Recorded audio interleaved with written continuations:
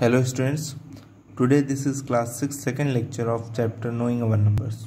Today we will discuss on these three topics. First is place value, second is place of comma and third is comparison of two numbers. Okay, so let's start from the place value. To understand the place value very easily, I have made a table on the basis of Hindu Arabic number system. I have taken two examples one is 754173 this is the number. And second number is 327971 let's discuss about the place value चलिए place value पे discuss कर लेते हैं। तो हमें find करना है three की प्लेस वैल्यू थ्री किस प्लेस पर है? थ्री वंस पर है, ठीक है? थ्री अगर वंस पर है तो इसका मतलब हुआ कि how many ones three ones कितने वंस हैं वहाँ पे? थ्री वंस है। तो थ्री की प्लेस वैल्यू हुई three into one that is equal to three चलिए डिस्कस करते हैं। फोर की प्लेस वैल्यू फोर किस प्लेस पर है? टेंस पर।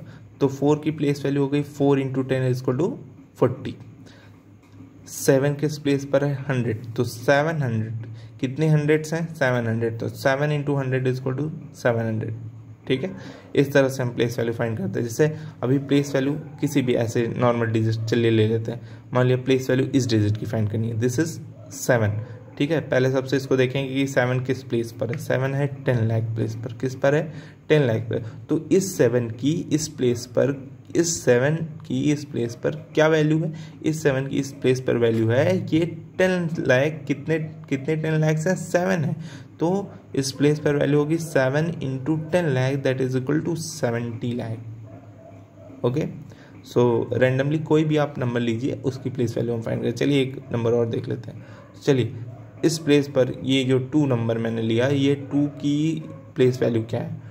टू की प्लेस वैल्यू फाइंड करने के लिए पहले हम देखते हैं कि टू किस प्लेस पर है। टेन थाउज़ेंड प्लेस पर टू है। इट मीन्स कितने टेन थाउज़ेंड है? टू टेन थाउज़ेंड है। तो one ten thousand means ten thousand and two ten thousand means twenty thousand so इस टू की इस प्लेस पर वैल्यू क्या है? ट्वेंटी थाउज़ेंड है। इस तरह से हम प्लेस वैल्यू को फाइंड करते हैं। ओके चलिए अब बात कर लेते हैं प्लेस ऑफ़ कॉमा की। मैंने यहाँ पर एक एग्ज़ाम्पल लिया आपके लिए। देखिए seven five four one seven four three ये एक नंबर है। इसमें कॉमा लगाना है। तो मैंने कॉमा कैसे लगाया देखिए।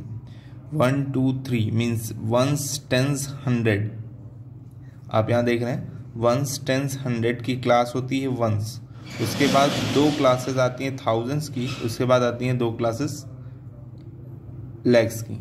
इसका मतलब हुआ कि पहली क्लास इन तीन थ्री डिजिट के बाद कंप्लीट हो जाएगी। इट मीन्स यहाँ कॉमा लगेगा।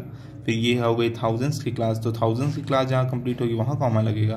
फिर ये दोनों कंप्लीट करेंगे लैक्स की क्लास तो कॉमा इस तरह से हम लगाते हैं ओके जहाँ पर क्लास ओवर होती है, वहाँ पर हम कॉमा लगा देते हैं ओके फिर आते हैं कंपेरिजन ऑफ़ टू नंबर्स देखते हैं, दो नंबर मैंने यहाँ लिया है।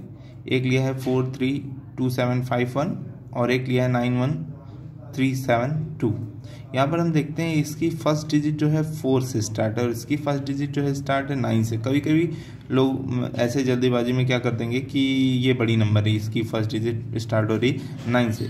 लेकिन नम डिजिट्स का मतलब नहीं होता। डिजिट्स की प्लेस वैल्यू का मतलब होता है। कंपेरिजन में डिजिट्स की प्लेस वैल्यू से हम समझते हैं। जैसे अगर हम देखें कि नाइन नाइन किस प्लेस पर है?